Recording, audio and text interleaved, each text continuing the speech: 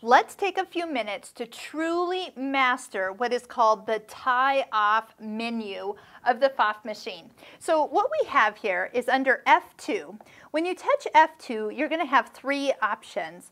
And once you turn this on, this will actually add tie-off stitches at the beginning, the end, and or a scissor button or a cut at the very end of a stitch.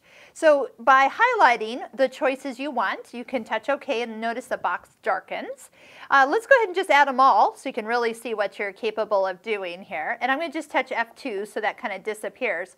You'll so notice on screen that you see those tie-off locking features and the scissors. So here's how it's actually going to work. If I'm just on a straight stitch, instead of it going um, all in one hole, it actually takes a couple stitches forward, back, forward, back, and then starts the, the stitching. Now, as soon as I want it to finish the tie-off feature, you're going to touch the reverse button, and it will finish with those back, forth, back and forth stitches.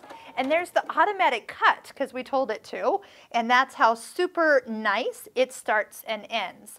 So let's do something, let's just do 64.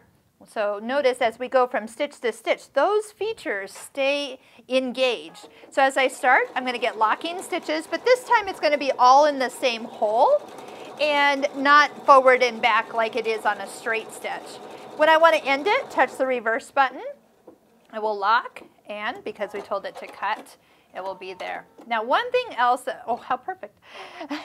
one thing else that I do like about that feature is that if you turn the machine off, and you turn it back on, that that is a remembered function.